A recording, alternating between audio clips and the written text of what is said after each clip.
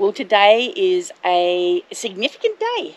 It is a significant day in the history of Happy Campers Happy Australia. Australia, yes. So we have some Moët that we're just about to crack. yeah. So it's been two 2,000 days since we, left, on our gap full, tour. on our gap year. Gap year, yeah. yeah. so- Last time I looked at the calendar, there was 365 days in a year, yeah. Not 2,000. No, no. It's um, a year's not long enough to see Australia. Um, anyway, let's crack this. Yes. Can you open I that shall, for me, please? I shall. Glenn's a non-drinker. If you've been following us, you know, Yeah, my job is to open bottles generally. and and eat the pies. eat pies. So his celebratory drink, soft drink. But um, oh, best sound in the world, I say. I wanted to launch the cork. No. Ah, ah! there you go. Oh, that's not, Perfectly filled. you're not the best pourer. There'll be a little bit in there. I'll have a bit more, thanks. Oh, not the best. Anyway, guys, we're going to have a chat to you um, about the ups and downs and the changes that have happened over 2,000 days. Yes, yeah.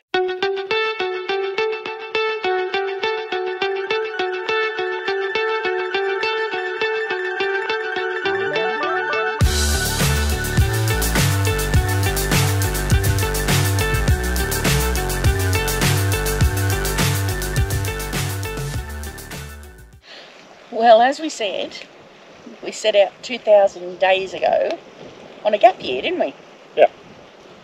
So We've only what- visited home. we visit home. Um, in that that gap year, um, we thought we'd already seen a lot of Australia, quite luckily. Um, lots of long service leave that we'd been using.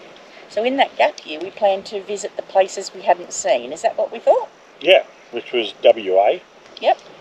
Glenn had a bit of stress at work, um, had a bit of a burnout really, and we decided that look, if we just take a year off and de-stress, that was the plan. Mm. They used to call it mental breakdown. Is that what they did? anyway, so we got travelling, and um, Australia's so big. uh, To, to do um, what even the gap to fill in the gaps was we couldn't do it all in a year.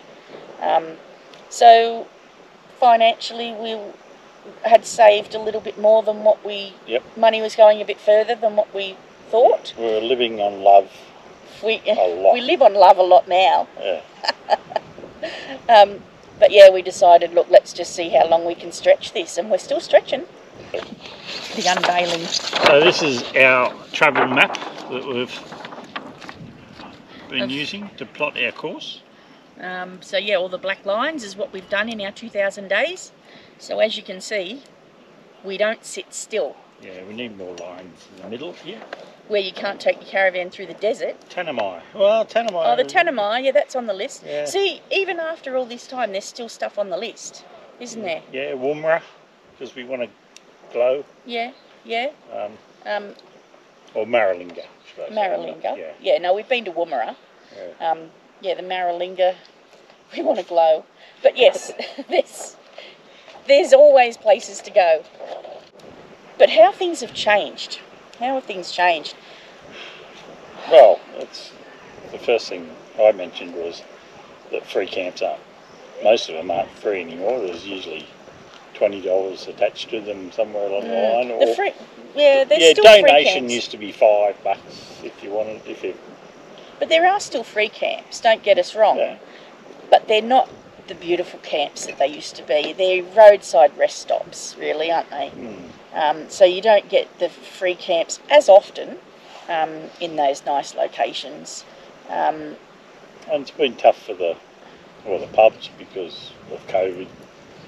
we do a lot of country pub camping, um, stay behind pubs, um, which are free camps, but it's not free because there's plenty of this and eating as yeah, well. free camps are about seventy dollars there. Yep. Okay, K's driven is 170,000 kilometres, Yep. we've got 155 on the Ranger now. and we the we Everest was we left with another vehicle, um, which was written off after we'd travelled 15,000 kilometres. So we add them up, we've got 170,000 Ks, Excellent. um, which averages about 85 Ks a day, um, which makes sense because we only ever stay put for three or four days. Um, But we've slowed down a lot. It used to be kind of 500k days, and now it's when we f- when we first left, it's like everybody. You've got so much to see, and you're still in work mode. yeah. It took us five, four, five years to learn to slow down. Um, it's that's not easy. That's we're not as slow as that, some people, you know, because we're not because we don't stay put. Yeah, Other people will move 50 k's and stay at a fortnight. You know, we don't stay put. But um, Three, that's three days is a long stay, yeah. We but that's usually driving around in those three days looking for.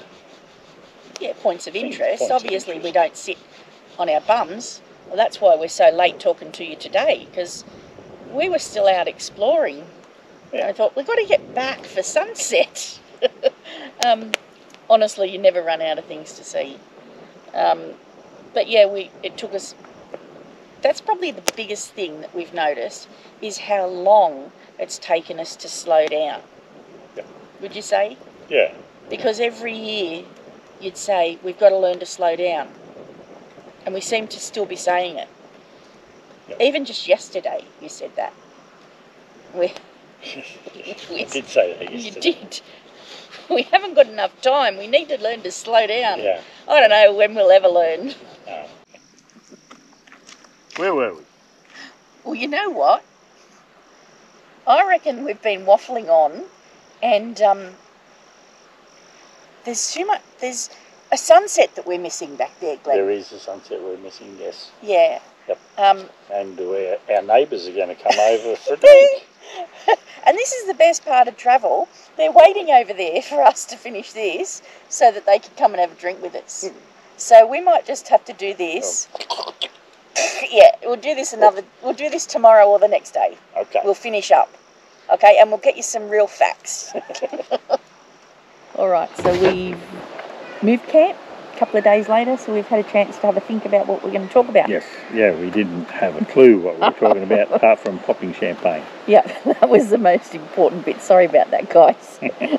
what have we learnt, Glenn? That um, what? Yeah, what have we learnt? Uh, you know, over the years. Caravans are shits of things sometimes. I wasn't expecting that to be first. You've got electrical, you've got gas, you've got what they're made out of, you know, whether it be timber or steel.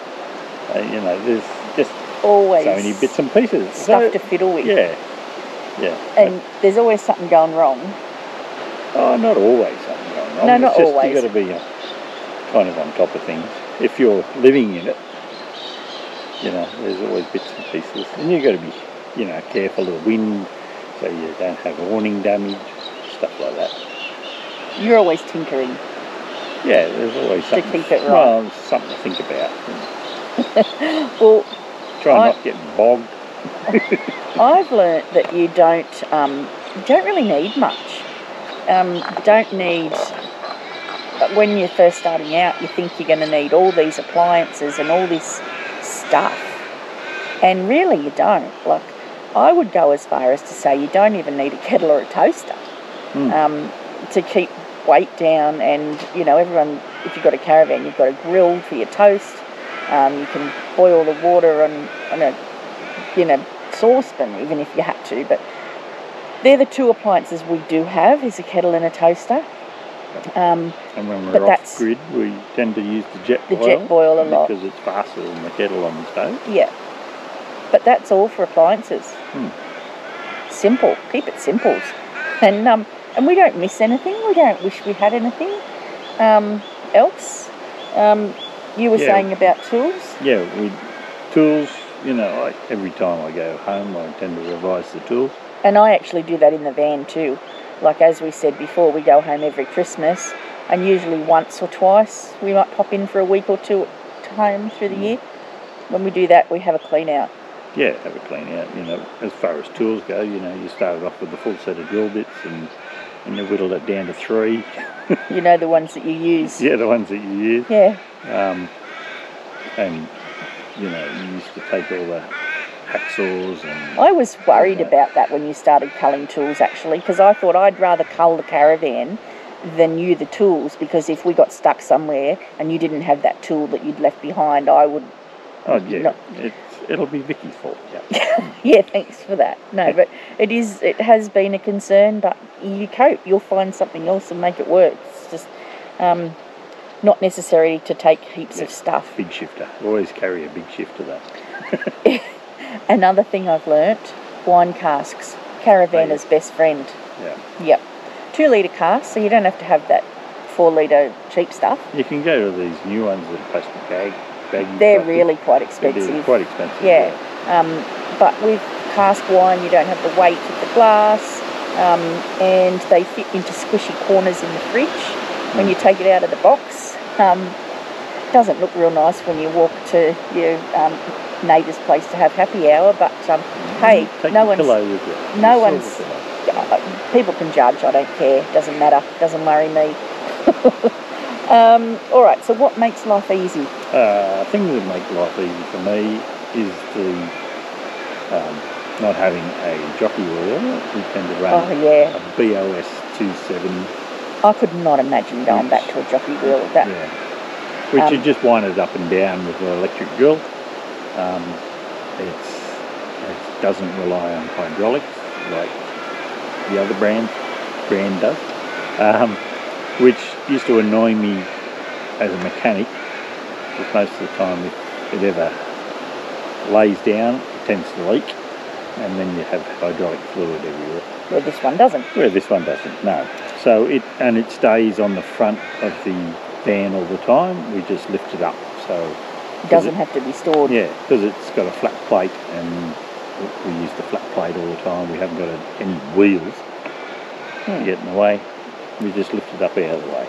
The best thing for me, what makes life easy, is because we're mainly unpowered camping. I love being able to use my washing machine unpowered, and um, it, it's it just runs from a, a small inverter. They people don't realise how little power they use. We don't have a fancy van with all the huge batteries and solar. Ours is a modest setup, and um, and I can still do my washing off grid. Um, just get water from anywhere. A pot um, doesn't have to be potable. Unpotable Yeah. water source. that's one because it's a uh, top loader. top loader. Yeah. So personally, I would never have a front loader because you can't add water from anywhere. Yeah. You'd have to use your tank water all the It's time. nice to stick them up on the wall, but they are heavy because they've got a, a counterweight in them. We've never had one, so we can't say, No, you know, for Never you. say never. use, but um, I just think you would need to carry so much extra water, tank water, which you know we can get away with minimal, just finding water even from a creek using your, your shower water. I love washing off grid. I don't know, that sounds stupid, but what makes it just makes life easy. It's easy for you. Um, so living in a small space, how's that? Oh, sometimes it's um, There's nowhere to go in an 18 foot van, believe uh, me. Thumbs to the wall. You know, you just get in each other's way sometimes. Yep. The corridors aren't real wide, are they? No. and last night we were sitting at the table inside because it was cold to have dinner, and um, you wanted something from over at the kitchen sink, which is only just there. Yeah. So I leaned over to get it. And I ended up with wine all through my mashed potato and pie. Knocked the wine glass Yeah. over on the way. I mean, that could probably happen at home too, but it's a very small space. There's no escaping. It was pie with white wine sauce. You probably just need to. You probably just need to learn, um, know each other very well, know each other inside and out, and be able to read when your partner needs time alone. And um, yeah, it's, we're not like that because we've been around for well, we have. Christ knows how We, we we very much used to living together twenty four seven. yeah. Um, but I know when you want to get away with your camera and take bird photos, and it's okay. It's usually when we pull up. Yeah, leave me to set up. That's what he does. Yeah, it's level. on. I'm off. He's yeah. off. Yeah, Yeah. yeah. But yeah, you do sometimes like time alone, which I'm not one for that. Doesn't bother me, but I can read him. So Head- it's just headphones are a good idea. yeah, Headphones. yeah. We've only just discovered the last few years having headphones at night time, so one can sleep and one can still watch t- telly or Mm. do the internet or whatever they want to do. Yeah. All right. Um, let's get to some dollars. I know everybody likes to know dollars, don't they? Don't When they're planning. Don't tell 'em. Don't tell 'em. No, it's a secret. Well, we've kept track of everything, every dollar spent for the 2,000 days. So I've got spreadsheet on spreadsheet on spreadsheet. Um, so, I mean, I could give you lots of information, but I've just chosen a couple of things that um, I thought would um, be interesting. In our 2,000 days, um, 804 of those have been free camps. Um, so that's a pretty big percentage considering they're becoming less and less. Mm. Um, and when we look at the overall average price of what we've spent um, on accommodation or campsites, um, our average nightly cost is under $10 a night for those 2,000 days. So um, we're pretty proud of that. Um, we do prefer the low cost or free camping, but you can't always get it. So, you know, if we have to pay $50 a night, we do. Um, we might only stay one night instead of, you know, if we were going to stay longer, but we don't not pay the expensive prices if it's all there is on offer in that area. Yeah. yeah. It depends on what the area, really. Yeah. Obviously, if there's a $50 camp and a $15 camp, we're going to choose the $15 one. Because we're tight asses. Yeah. But quite often they're in nice locations too. Yeah. So um, that's our accommodation costs. So Yep. pretty happy with that. Um, our everything costs. So we we have a weekly average um, of around seven to seven twenty a week, um, which isn't very much. But I'll have to explain. When we started out, you all know we were taking a gap year. Hmm. Two thousand days later. we got you, and So when I started keeping track of things, um, they were travel expenses because we still have a home, we ha- still have expenses at home. So we still to this day, because I can't start including things now that I didn't from day one, we don't include car and caravan registration and insurance because they were expenses we would have had at our home anyway when we started out. So when you do the sums on those costs, um, it still works out that it would be only another 100, 150 a week um, extra, if that, Mhm. really. Um, I did some sums and it, it was like under $400 a month um, for those costs. So, yeah, 800 But you can't rely on that cost if you're only doing a 12 month run around Yeah. Australia. In the first 12 months, we spent more on lots of activities and that sort of thing.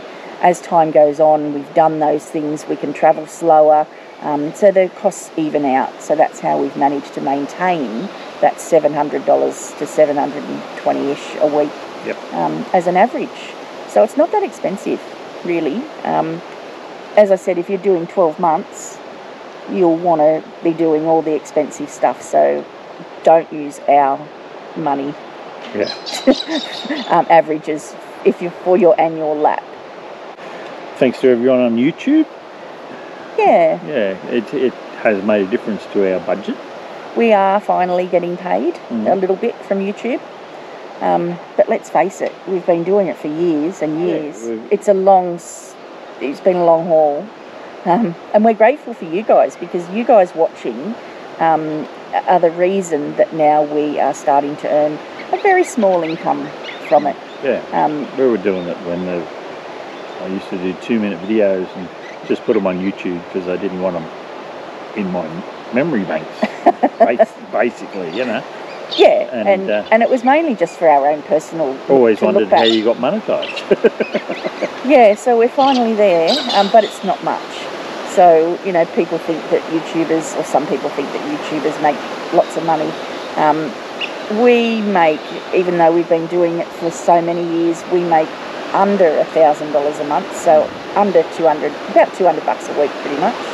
Um, so you can't live on that, and for the amount of time that it takes, we would spend probably 40, 50, 60 hours a week between the two of us. Yeah, maybe, yeah. Between, Between the the two, two of of us. I might.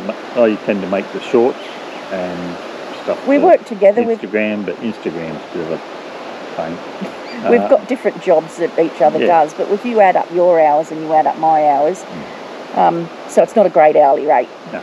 But we're still really appreciative of yeah, everybody. Yeah, Um, it, you know, that does help out. Yes, thanks for everybody, YouTube, and thanks for the pies. Yeah, and those who have bought us a pie lately. Bought us a pie. Yeah, You know, can buy us a coffee or a that shows pie us- or coffee shows us that you like what we're doing and you know it's not a lot of money but it's it's gratitude we really appreciate We that appreciate it. Yeah, yeah we certainly do. Uh, so Or- anyone considering it, um, as Any- far anyone- as YouTube, YouTube goes, you know, oh anyone considering youtube oh give it a go. But Give a don't expect Yeah. that you're going to be rich and don't think if you're doing 12 months that you're going to get a huge following easily. Yeah. it's not it's not easy. And we're still not at that point that we're going to commit to a weekly video. I don't want to they take too long to make. far too disorganised. Oh no well we're too busy travelling we're too busy Yeah. you know there's too much We to want see to have a good time. 2,000 well. days, and we've still got so much to see. I can't. That's one thing that you that I can tell you is that you will never have enough time. Never have enough time to see Australia. Yeah, there's always something slightly different. But anyway, if you've considered travelling Australia and you're hesitant or you're scared, um, just the advice we can give you is just do it. Just do it, yeah. Just do it. You'll learn along the way. Um, you don't know what tomorrow's going to bring, and um, there's plenty of people on the road that will give you help, tips. You've got an aunt. I've got an ant along. Yeah, give him a flick. Easy. Bugs. He We, you get very Hang used. on. He's a, he hangs on tight. You get very used to bugs. Favourite places? Ooh, that's hard. You hadn't thought about that. no, I but I still like WA and Quobba, Quobba blowholes and Yeah. campground not Yeah. Quobba Up. station. Station. Yeah. You really like the blowholes with, and I can't. I mean, I love that too. I love Quobba blowholes as well, but I can't go if we go far. state by, we- we'll have to do it state by state. I can't go as far as to say that I have a favourite place. All I say is that there is nowhere in this country that we've been that we have not liked, and everything there's there's a positive in everywhere we've stayed. I don't Um, like Sydney much. but Sydney is a beautiful city. Oh, yeah. we wouldn't take the caravan there. yeah. No, it's it's yeah, getting around Sydney. yeah, Yeah. No, there's there's no favourites. Um, favourite state Tasmania and Western Australia. That's as much as I'll say Yeah. because there's as places more refined than that. I did like the Eyre Peninsula, but it's been a while, so we're going back. That's just it. Do things two and three times. Yeah. Um, you always get a different experience. Queensland is good. Uh, Everything's good, Dale.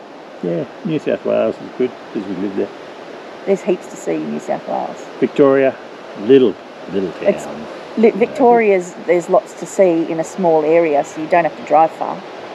Right, no, Anyway, that's that's rambling because we haven't given you any favourites there. It's just everyone no, so, everyone will make up their own mind on that one.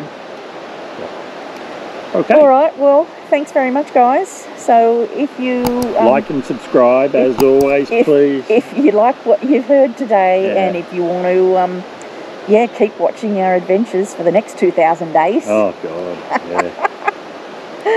Have you got a cheers? no, Thanks, guys. Thank um, you. Hope you've enjoyed it. See you on the road. see ya.